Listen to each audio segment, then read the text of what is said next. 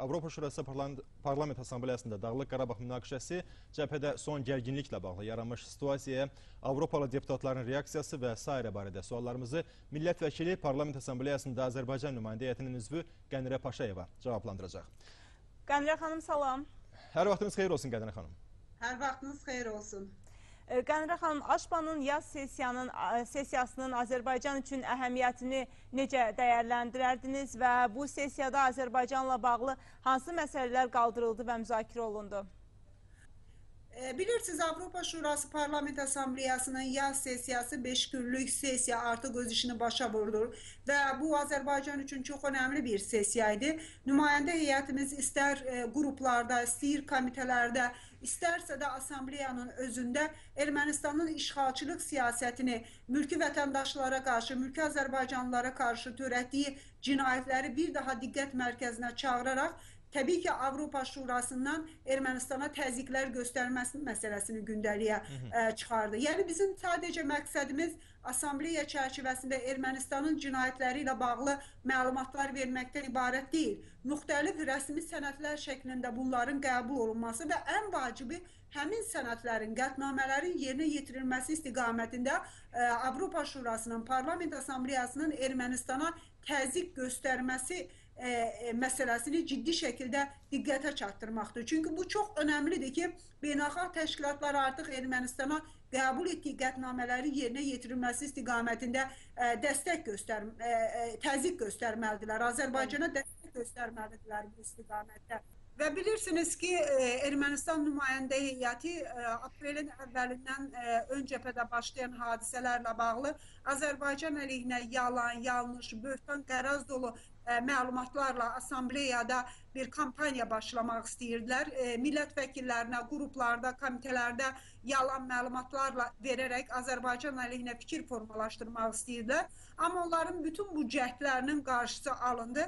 Azərbaycan nümayəndə heyəti həm qruplarda, komitələrdə, həm də assambleyada Ermənistan nümayəndə heyətinin bütün yalanlarını ifşa edərək onların göstərdiyi fotolarında saxta fotolar olduğunu e, hər kəsə e, sübut edərək e, və Ermənistan Ermənistanın Ermənistan ordusunun nələr, hansı cinayətlər etdiyinin fotolarla, videolarla təqdim edərək bütün istiqamətlərdə, həm istəyir siyasi qruplarda, komitələrdə, assambleyada Ermənistan nümayəndə heyətinin bütün Azərbaycan əleyhinə yalan, böhtan dolu e, kampaniya aparmaq niyyəti tam iflasa uğradı və Avropa parlamentarları artıq e, bunların nə qədər yalan, nə qədər böhtan dolu məlumatlar olduğunun fərqində e, olaraq e, heç bir e, bu ciddi bir dəstəyə nail ola bilmədilər.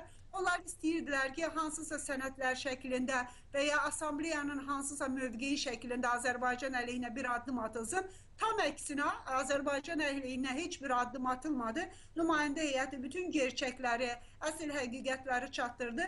Tam əksinə Ermənistanın işğalçılığı bir daha ciddi şəkildə diqqət mərkəzində oldu e, və biz orada da vurğuladıq ki, e, assambleyanın özünün qətnamələri var Aşpa prezidentinə biz təşəkkürümüzü bildirdik onun ədalətli mövqeyindən dolayı və assambleyanı e, çağırdıq ki, artıq e, siz də görürsünüz ki, Ermənistan qəbul etdiyiniz qətnamələrin yerinə yetirilməsi istiqamətində heç bir addım atmır. Ona görə də Ermənistana qarşı bir e, təzyiq mexanizmlərinə artıq ciddi şəkildə əl atmaq lazımdır. Ermənistan nümayəndə heyəti o qədər e, belə deyək, artıq e, e, bu nə edəcəyinin fərqində e, deyildilər ki, hətta Avropa Şurası Parlament Assambleyasının prezidentini belə ittiham eləməyə başlamışdılar ki, siz Azərbaycan obyektiv deyilsiniz, Azərbaycanın mövqeyini dəstəkləyirsiniz və s. E, e, e, millət vəkili Parmanyan Ermənistan nümayəndə heyəti adından çıxış eləyirdi e, və biz də vurğuladıq ki, e, siz e, assambleyada o çıxış zamanı ki, e, millət vəkillərinə üst tutaraq ki, siz bu Ermənistan nümayəndə heyətinin üzvündən soruşun ki, bax orada o hadisələrin baş verdiyi nöqtədə Ermənistan ordusunun əskərləri nə edirdi, nə işi var? bütün dünya tərəfindən o ərazilər Azərbaycanın torpaqları kimi tanınır. Azərbaycanın ərazi bütövlüyü içərisində tanınır. Və siz indi Ermənistan millət vəkilindən soruşun ki, Azərbaycan torpaqlarında sizin ümumiyyətlə ordunuzun, sizin əskərlərinizin nə işi var? Və belə bir işğalçı devlətin, işğalçı ordunun e, nümayəndə heyətinin gəlib bu günləri assambleyada bu cür çıxışlar eləməsi, hətta e, assambleyanın prezidentini ki, obyektiv və ədalətli olaraq e, işğalın bitməsinə və qətnamələrin həyata keçirilməsinə çağırır. Onu da bu qədər bu cür ittiham etməsinə biz hamımız biz dedik ki biz etiraz edirik. Siz də etiraz eləməlisiniz və etirazla da qalmayaraq artıq Ermənistana e, qarşı mexanizmlər işə düşməlidirlər ki, bunlar qətnamələri yerinə yetirsin. Bunlara qarşı heç bir sanksiya, heç bir qətnamələri yerinə yetirilməsi istiqamətində təzyiq olmayanca bunlar da bu cür addımlar ata bilir. Hətta assambleyanın prezidentinə qədər ittiham edə bilir və yalan məlumatları assambleyaya verir.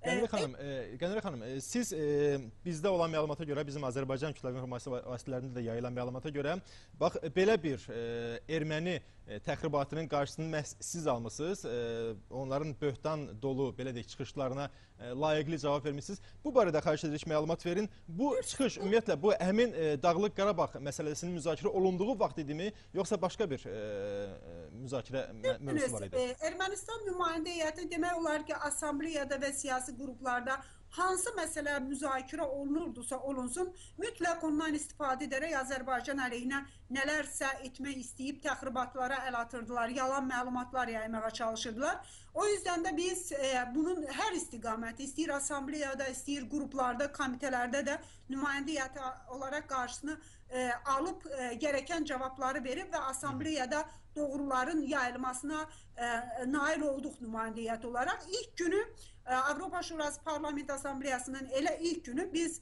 büronun inkişaf e, məruzəsinin müzakirəsi zamanı Ermənistan nümayəndə heyətinin üzvü Farmanyan ilk öncə söz alaraq Azərbaycan əleyhinə yalan məlumatlarla assambleyaya çağırışlar səsləndirməyə başladı. Ona çox e, gereken e, cevaplar verildi vurguladığım kimi və bütün assambleya onları nə qədər yalan, böhtan dolu məlumatlar yaydığının fərqində oldular. Sonra digər Ermənistan nümayəndə heyətinin üzvü Zohrabyan e, e, liberallar qrupunun toplantısında böyük eyni mövqeyini davam elətdirdi və biz orada da e, çox geniş şəkildə mən çıxış edirdim liberallar qrupunun üzvü olaraq çox geniş şəkildə bütün bu münaqişənin tarixindən bu günə qədər gələn dövrü əhatə edərək bu çıxışları, məlumatları verərək biz söylədik ki, siz indi bu toplantının getdiyi zamanda Zohrabyandan soruşun ki, onun ölkəsinin prezidenti hardadır? Onun ölkəsinin prezidenti bu günləri hərbi forma geyinərək işğal olunmuş Azərbaycan torpaqlarına gəlib. E, və siz soruşun assambleya üzvləri olaraq, liberal üzvləri olaraq ki, sizin prezidentinizin Azərbaycan torpaqlarında nə işi? O torpaqlar Azərbaycanın torpaqlarında Azərbaycan ərazisi idi. Ondan sonra təkrar Ermənistan nümayəndə heyəti cavab üçün söz almaq e, cəhdi də boşa çıxdı. E, e, qrupun rəhbəri, liberal qrupun rəhbəri e, e, Çukla e, siz söylədiniz və sizin söylədiklərinizin hamısının cavabı e, verildi. Artıq e, bir e, sözünüzü e, burada söyləməyə ehtiyac yox deyərək Ermənistan nümayəndə heyətinin e, təkrar bu yalanları e, davam etdirmə cəhdlərinin qarşısını aldı və liberal qrupda e, bizim mövqeyimizi, ədalətli mövqeyini Azərbaycanın e, dəstəklədi. E, sonra eyni terrorla bağlı müzakirələrdə assambleyada təkrar bu da Ermənistan nümayəndə heyətinin üzvü Karapetyan yenə Azərbaycan əleyhinə və çox ağır ittihamlarla ki, Azərbaycanın terroru dəstəkləyir və sair orduları belə hərəkətlər edir deyə yalan yanlış məlumatlarla, çox ağır ittihamlarla ə, çıxış eləməyə başladı və sonra nümayəndə heyəti adından mən çıxış edirdim və ə, mövqeyimizi çatdırdıq və orada vurğuladıq ki, assambleyaya üz tutaraq vurğuladıq ki, əslində işğalçı bir ölkənin ən böyük problemi ondan ibarətdir ki, işğalçı bir ölkənin üzvünün burada danışma haqqı olmamalıdır. Və bu günləri Azərbaycan torpaqlarını işğal edib 1 milyon insanın evinə dönməsinə imkan verməyən, bir gecədə Xocalı şəhərini yerlə yeksan edən, əhalisinin çoxunu qətl edən, soyqırma e, törədən, 20 mindən çox insanı qətlə yetirən bir ölkənin bu işğalçı və terroru dəstəkləyən bir ölkənin təmsilçilərinin burada danışma haqqının olması da əsas problemin kökü Bəli. və Ermənistan nümayəndə heyətinin e, ciddi şəkildə bu təzyiqlər olmalıdır və bu cür e, addımları davam etdirmələrinin qarşısı ciddi şəkildə alınmalıdır və vurğuladıq Ermənistanın ki, Avropaya da üst tutaraq ki, artıq terror təşkilatları arasında e, ikili standartlar olmamalıdır. Avropa terror təşkilatlarına münasibətində, terrora baxışında ikili standartlara artıq son verməlidir. Yəni əgər kim tərəfindən kimə qarşı törədilirsə törədilsin, terror törədənlərə qarşı mübarizə birlikdə sərt olmalıdır. Bəli. Və çox təəssüf ki, bir zaman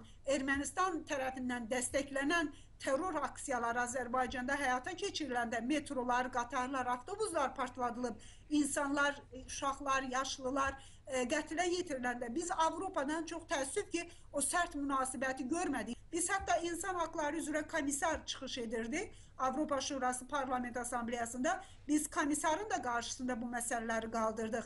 Ermənistanın cinayətləri məsələsi, mülki insanlara və s. və komissar da e, bu qaldırdığınız məsələlər çox ciddi narahat doğuran məsələlərdir. Biz bu məsələləri diqqətdə saxlayacağıq deyə müəyyən yanaşmalar irəli sürdü. Amma biz orada da tələblər çıxış edirdik ki, siz insan haqları üzrə komisarsınız. Avropa e, e, Şurası, Parlament Assambleyası İnsan Haqları üzrə komissarı və 1 milyon insanın evinə dönməsinə əgər Ermənistan icazə vermirsə, artıq buna qarşı ciddi şəkildə etiraz səsləri ilə bərabər addımlar da olmalıdır. Eyni zamanda Avropa Komissiyasının prezidenti cənab Juncker də gəlmişdi assambleyaya. Onun çıxışı zamanı da biz nümayəndə heyəti olaraq bu məsələni vurğuladıq ki, baxın bu gün bu Azərbaycandan başlayaraq böyük layihələr həyata keçirilir. E, böyük enerji, qaz layihələri, kommunikasiya layihələri. Amma Ermənistanın bu işğalı davam etdirməsi bu layihələr üçündəki, onun təhlükəsizliyi üçün də təhdiddir ki, bu Azərbaycanla bərabər Avropanın da təhlükəsizliyi ciddi problem olan məsələlərdir və artıq Avropa e, Birliyi, Avropa Komissiyası, Avropa İttifaqı da bu məsələlərə ciddi yanaşmalıdır. Bi- Bir mən sual da vermək istəyirəm sizə. Dəfələrlə biz AŞPA üzvlərinin Azərbaycana qarşı e, ədalətsiz, qərəzli münasibətinin şahidi olmuşuq. Xüsusilə də söhbət ermənipərəst parlamentarilərdən gedir. Bax, Avropa Şurası Parlament Assambleyası üzvlərinin Azərbaycana qarşı münasibətində ümumilikdə soruşuram mən. Hər hansı bir dönüş, dəyişiklik hiss olunurmu? Bilirsiniz, Azərbaycanın cənab prezidentin rəhbərliyi altında beynəlxalq təşkilatlarda gördüyü böyük işlər, nümayəndə heyətlərimizin, Aşbada da nümayəndə heyətimizin apardığı işlər nəticəsində biz görürük ki, təbii ki, Azərbaycanın ədalətli mövqeyinin dəstəklənməsi daha da artır. Təbii ki, bəzi qüvvələr var, bəzi güclər var ki, onların başqa maraqları var və Azərbaycan əleyhinə onlar həqiqətləri bilsələr də çox təəssüf ki, Azərbaycan əleyhinə məsələlərə səs verirlər. Amma e, görülən işlərin nəticəsi olaraq neytral ölkələr var, nümayəndə heyətləri var ki, onlar arasında Azərbaycana dəstəyin daha da artdığını görürük. Və son iclas bir daha onu göstərdi ki, Ermənistan e, e, və onun nümayəndə heyəti, arxasında duran gücləri, havadarları nə qədər çalışsalar da artıq e, Avropa Şurasında ədaləti dəstəkləyən qüvvələr, yəni Azərbaycanın bu istiqamətdə e, yanında olanların sayı daha çoxdur. Çünki bilirsiniz ki, Ermənistan sadəcə özü deyil, e, Fransa vasitəsilə də e, Azərbaycan əleyhinə bir müzakirənin açılması və qətnamənin qəbul olunması üçün e, çalışırdı və ilk iş günündə assambleyanın elə ilk günündə Fransada Fransanın millət vəkili René Ruki hansı ki Azərbaycana düşmən mövqeyi ilə tanınır. Ermənistan qrupuna rəhbərlik edir. Azərbaycanın işğal altında olan Dağlıq Qarabağ bölgəsinə səfər edib və orada açıqlama və bəyanatlar səsləndirib ki, biz bununla bağlı öz etirazımızı assambleyada bildirmişik ki, e, a- e, bu a- Azərbaycan dövləti əleyhinə, onun ərazi bütövlüyü əleyhinə addımlardır və assambleyada buna e, yalnız e, e, sakit baxmamalıdır. Buna ciddi şəkildə etirazını, münasibətini qoymalıdır. René Rukenin vasitəsilə və Rocha Blanc Fransa millət vəkili onların vasitəsilə də onlar büroya Azərbaycan əleyhinə e, müzakirə olunan iki sənəd Birini Ermənistan, biri də René Ruki vasitəsilə müzakirə tələb eləmişdilər ki, o müzakirə açılsın və istəyirdilər ki, bir sənəd qəbul olunsun. Təbii ki, Azərbaycan nümayəndə heyəti olaraq biz də büroda məsələ qaldırmışdıq ki, həqiqətlər elə deyil, bu de belədir. Bu cür müzakirələr olsun. Amma bütün cəhdlərinə baxmayaraq Ermənistanın arxasındakı güc havadarların büroda onların istədiyi heç bir sənədin müzakirə olunması qəbul olunmadı və sənədlər ətrafında nə müzakirələr oldu, nə də qəbul olundu. E, Sonra qruplarda bunu istədilər, siyasi qruplarda heç bir nəticə ala bilmədilər. Komitələrdə qaldırdılar, heç bir nəticə ala bilmədilər. Assambleyada demək olar ki, Ermənistan nümayəndə heyətinin bütün üzvləri çıxış eləyərək assambleya boyunca assambleyada ə, bu yalan yanlış məlumatlarla bir nəticə əldə etmək istədilər, amma heç bir şeyə nail ola bilmədilər. Qruplarda da, komitələrdə də, büroda da, assambleyada da tam ə, aparmaq istədikləri Azərbaycan əleyhinə iş iflasa uğradı.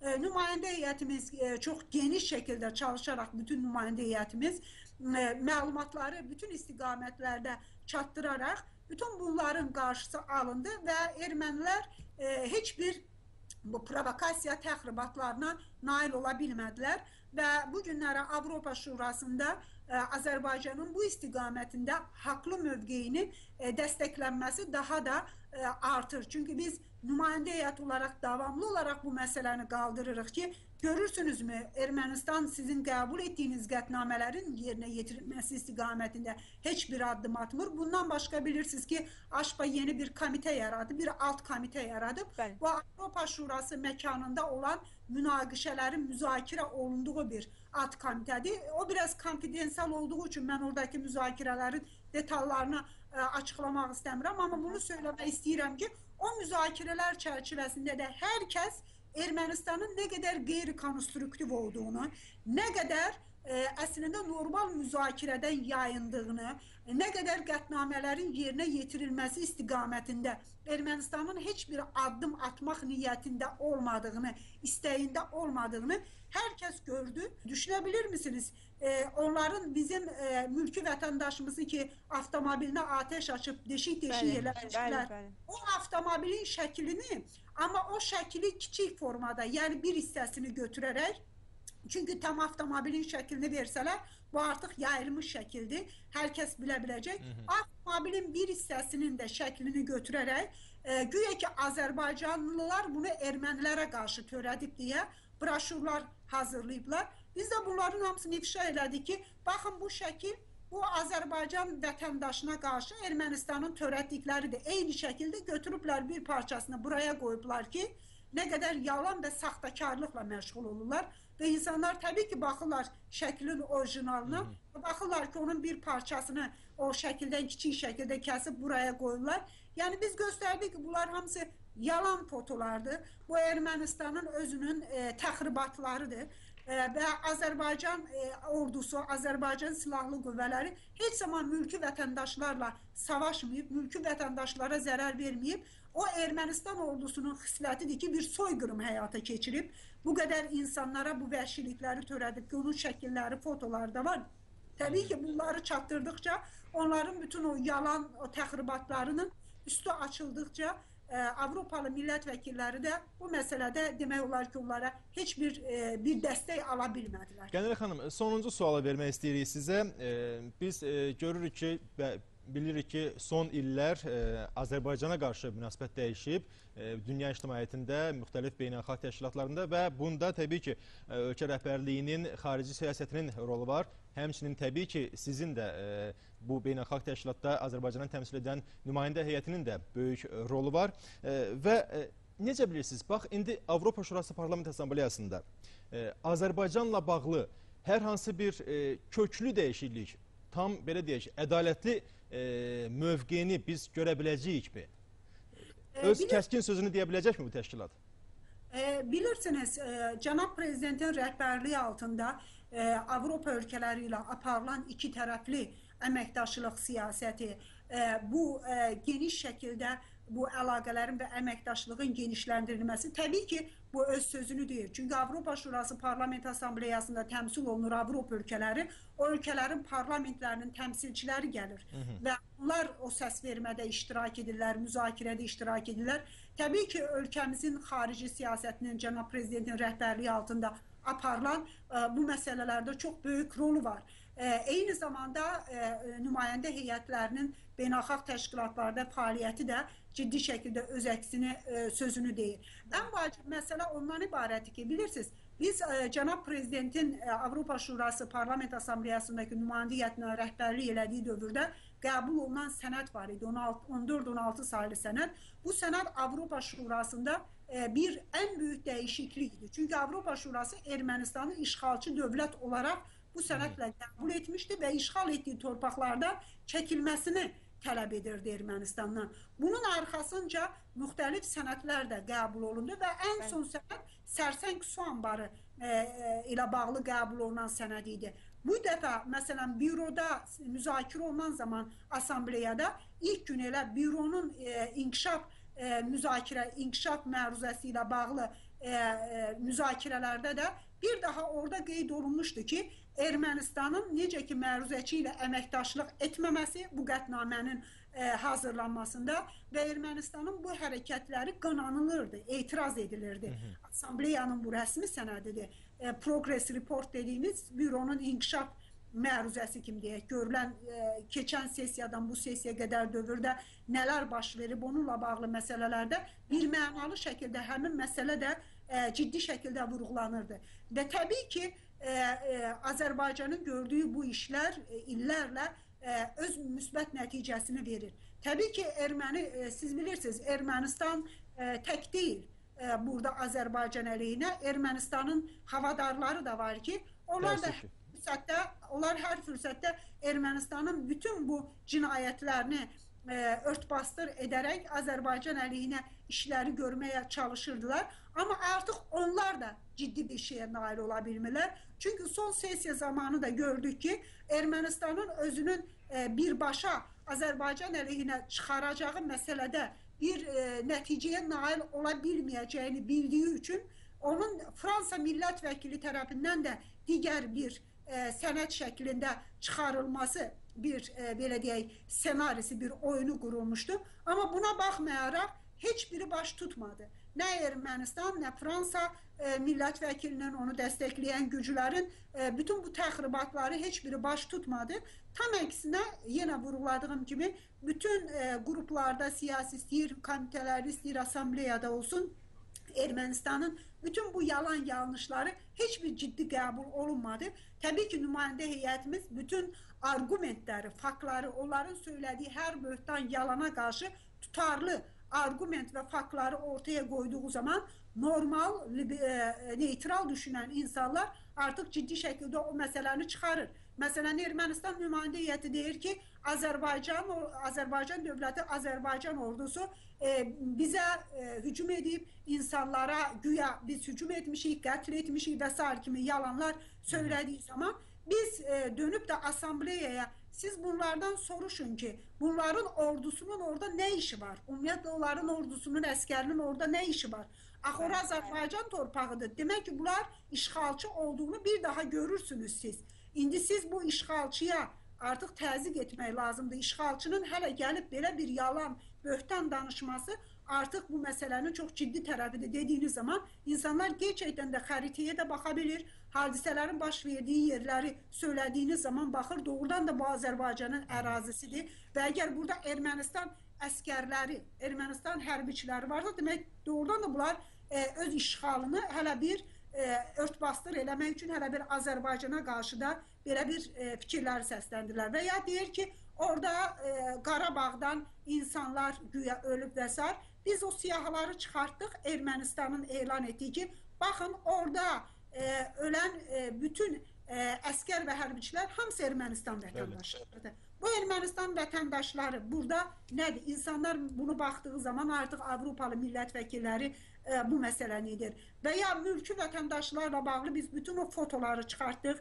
Dağıdılan evlərlə bağlı 16 yaşlı qətlə yetirilən Turanə e, e, qızımızla bağlı və ya ə, Dadaş dayı ilə bağlı digər mülki vətəndaşlarımızla bağlı ki, baxın bu insanlar necə qətlə yetiriliblər və bu dağıdılan evlər kimin evləridir? Baxın, bu Azərbaycanlılara məxsus ə, evlərdir. Buna baxırlar. Xocalı ilə bağlı məsələləri qaldırdıqca və ya Aşbanın sizin qətnamələrinizi qaldırın, baxın, görün hansı maddəsini Ermənistan yerinə yetirib bu günə qədər dediyiniz zaman artıq bütün bu arqumentləri səsləndirdiyiniz zaman və Qarabağın istəyi tarixi ilə bağlı yalanlar olduğu zaman e, ermənilər Ermənistan tərəfindən dəstəklənən terror aktları ilə bağlı məlumatları, fotoları ilə göstərən zaman təbii ki, artıq insanların fikir və düşüncələri fərqli istiqamətdə dəyişir. Və biz onu da vurğuluyurduq ki, siz deyir Azərbaycan ordusu, biz sizə sual veririk. Biz asambleyada söylədik. Bax biz sizə sual veririk. Əgər bir ölkənin ordusu sizin e, torpaqlarınızı işğal edibsə və işğal etdiyi torpaqlarınızda qurduğu mövqelərdən də mülki vətəndaşlarınıza atəş açırsa, sizin ordunuz nə edəcək? Mülki vətəndaşlarınızı qorumayacaqmı? Torpağını qorumayacaqmı? Təbii ki, hamısı deyir ki, əlbəttə qoruyacaq. Biz də deyirik, Azərbaycan ordusu da bunu edib. Azərbaycan ordusu da öz mülki vətəndaşlarını və öz torpağını ərazi bütövlüyünü qoruyur. Azərbaycan ordusu gedib hansısa bir dövlətin e, torpağına girməyib, ərazisinə girməyib ki, Azərbaycan ordusuna qarşı hansısa bunlar yalan, yanlış, ittiham dolu məlumatlar səsləndirirlər. E, insanlar da bunları duyduqca doğrudan da e, e, normal e, düşüncə ilə doğrudan da Azərbaycan ordusu bir şey etməyib ki, Azərbaycan ordusu öz vətəndaşını, öz torpağını qoruyur. Azərbaycan ordusunun e, suçlamanın nə qədər yanlış olduğunu görə bilirlər. Ona görə də təbii ki, ən vacib məsələ o idi ki, biz bütün sesiya çərçivəsində, bütün toplantılarda Ermənistan nümayəndə heyəti nə bir yalan, qərəz, böhtan e, atırdısa və ya məlumat yayırdısa, onun həmən qarşısının alınması istiqamətində çıxışlar, materiallarla cavab verilirdi və Ermənistan nümayəndə heyəti e, bütün bu böhtan və yalanlarına da heç bir dəstək ala bilmədi. Tam əksinə onlar bu böhtan və yalanları bu şəkildə davam etdirdikcə e, hətta mən sizə deyim ki, bəzi güc qüvvələr var, bəzi millət vəkillər vardı ki, onlar ümumiyyətlə bu məsələdə tam neytral qalırlar, heç müdaxilə etmirdilər. Amma Ermənistan nümayəndə heyətinin bu cür e, artıq addımları bəzi millət vəkilləri vardı ki, onlar artıq buna bu qədəri də olmaz deyərək Məsələn, e, bizimlə nümayəndə heyətimizlə söhbətində e, biz anlayırıq, biz bilirik ki, siz haqlısınız, ədalətlisiniz. Çünki biz görürük ki, bunlar bu qədər e, cinayət, bu qədər işğalın yanında hələ bu qədər də böhtan və yalanları assambleyaya danışa bilirlərsə, bu təbii ki, çox e, qeyri-normal qarşılanmalıdır deyə. Onların bu kimi hərəkətləri əksinə e, onlara qarşı e, münasibətin artmasında daha da e, mən düşünürəm ki, bir çox e, millət vəkilləri arasında da rol oynadı ki, həm suçlu, həm güclü olma düşüncəsini təbii ki, qəbul etmirdilər ki, suçlu tərəf Ermənistan, hələ üstəlik də Azərbaycanı burada ittiham eləmə düşüncəsinə girsin. Ona görə də mən hesab edirəm nümayəndə heyətimiz çox gərgin bir sessiya oldu, ağır bir sessiya oldu. Amma e, həm dövlətimizin apardığı işlər, e, e, cənab prezidentin rəhbərliyi altında görülən o böyük xarici siyasətimizdə işlər, parlamentimiz nümayəndə heyəti səviyyəsində aparılan işlərin nəticəsi olaraq mən hesab edirəm ki, bu sessiyada Azərbaycanın mövqeləri daha da güclənmiş şəkildə Avropa Şurasında çıxdı. Təşəkkür edirik sizə. Təşəkkür edirik həm bax bu fəal mövqeyinizə görə, həm də bizə vaxt ayırdığınıza görə, görə çox sağ olun. Sağ olun, uğurlar olsun, sağ olun. Sağ olun. Xatırladaq ki, bizimlə Strasburqdan canlı video bağlantıda millət vəkili Aşbada Azərbaycan nümayəndə heyətinin üzvü Qənirə Paşayeva idi.